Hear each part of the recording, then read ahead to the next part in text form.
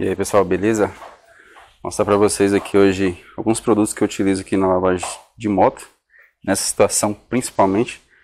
Mas antes vou mostrar aqui o estado um pouco da, da Z, como ficou aí 10 dias sem nem ligar. Cheguei de viagem, quem acompanhou. E só encostei a moto, não liguei mais, nem lavei nem nada, a situação que tá aí. Tá bem suja, muito suja, tá tendo obra aqui perto.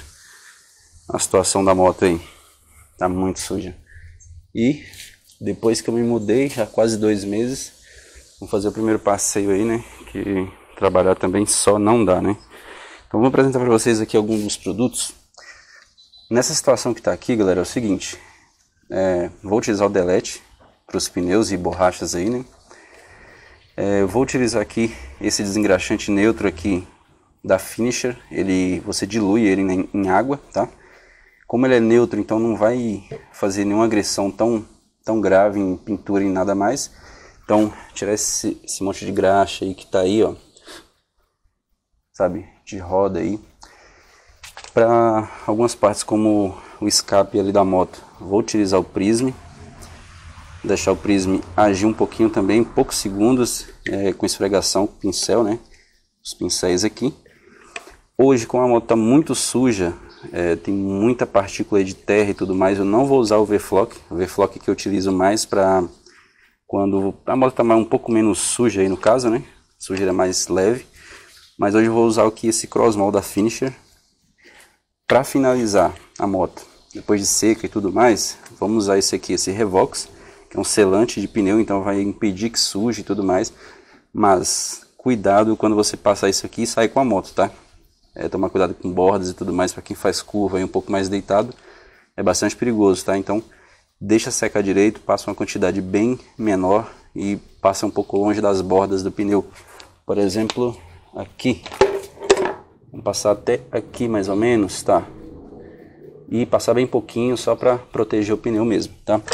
Hoje eu vou utilizar a Snow One da lavadora de alta pressão para agilizar, porque eu estou com pouco tempo. Para finalizar, vou usar o blend na pintura, em algumas partes aqui para proteger, evitar de juntar sujeira e tudo mais. E nos plásticos, é lógico, hoje eu não tenho aqui o da Finisher, vou usar o Restaurax da Vonix.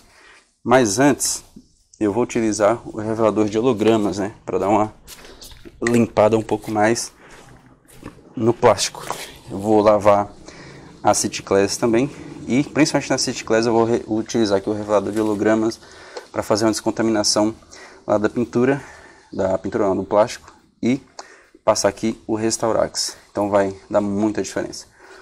Hoje eu só vou mostrar para vocês a finalização aí da, da Z. Então eu tô com pouco tempo para mostrar lavagem detalhada aqui. Mas também não será uma lavagem muito detalhada, vai ser um pouco mais rápida. Mas vou mostrar para vocês como ficou o final.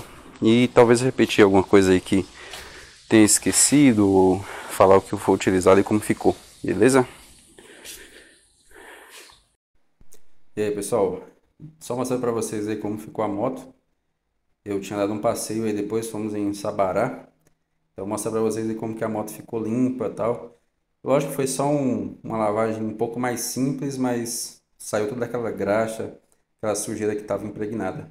E é isso aí, depois eu gravo a moto para vocês completa. Valeu!